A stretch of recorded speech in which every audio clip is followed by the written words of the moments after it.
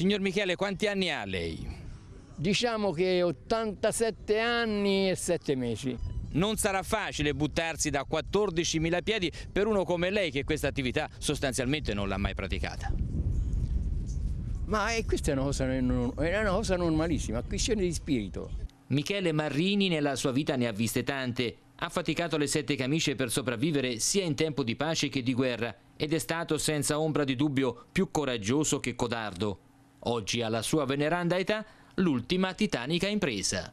Si parte, tranquillo Michele? Tranquillissimo, è da 15 giorni aspetto di, di, di, da quando il mio nipote me l'ha detto. Che cosa si aspetta di vedere dall'alto? Dall'alto? Prima di tutto spero di vedere tanti eroi e martiri che sono lassù.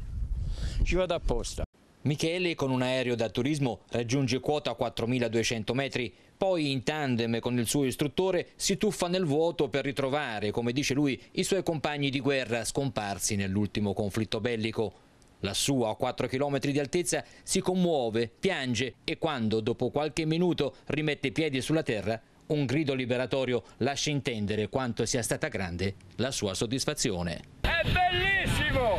Una cosa eccezionale! Com'è andata? Bene. Meglio in cielo o in terra? Cielo, perché lassù ho visto tutti i miei compagni. I suoi compagni di guerra? Sì. E mi hanno detto di fare pulizia. Allora, un'esperienza da ripetere? Sì, cento volte.